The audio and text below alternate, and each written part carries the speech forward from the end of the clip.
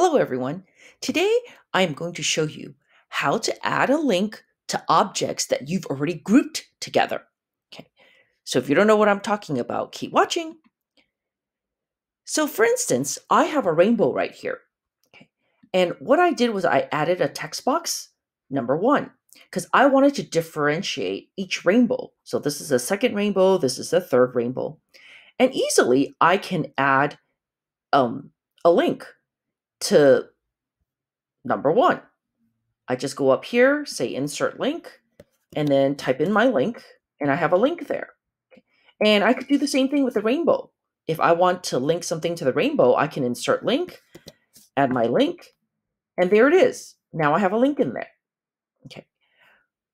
But what makes it difficult is it's hard to move. Every time I want to move rainbow number one, I have to select the rainbow and then I also have to select the number one in order for me to move it together. Okay. So a lot of people opt to group these so they're easier to move. So then you would group it. They would select the number and the rainbow, go to arrange, and then group the item. So they can move it anywhere and it would move all together. Now, let me move it back into place. You're going to notice something though. When I do this, if I click number one, my link is still in there. But you'll notice something about the rainbow. When I click the rainbow, the link is no longer in there. There's no link. What happened to the link? I actually don't know the answer to that. Okay. So, but what I'm going to do right now is I'm going to ungroup it just to prove to you that I did link it. I really did. Okay, I ungrouped it. You see, now when I click the rainbow, the link is there. Okay. So, hmm, what to do? I would have to link. So then I couldn't group it together.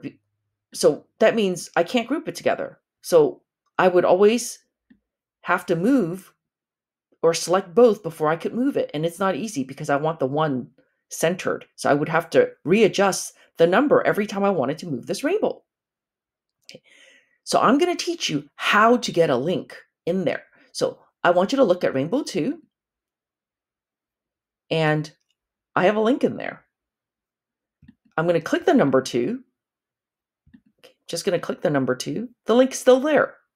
Okay. Magic, right? Not really. I'm going to teach you how to add a link even if you have your items grouped together. Okay, so let me go to the next slide. So right now, I have the number one and a rainbow. I'm going to select all of it together and then I'm going to group them. So go to arrange, group. Now I'm going to group them.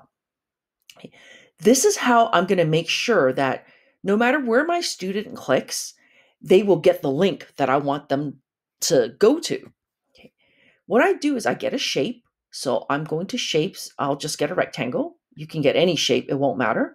I'm going to use my shape and cover my entire rainbow. Okay.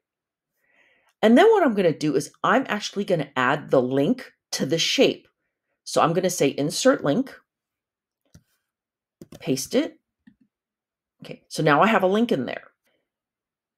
Now you're thinking, yeah, but now you have a gray shape over over your rainbow and your number. That's not very attractive. That's not what I want the students to see, a gray box.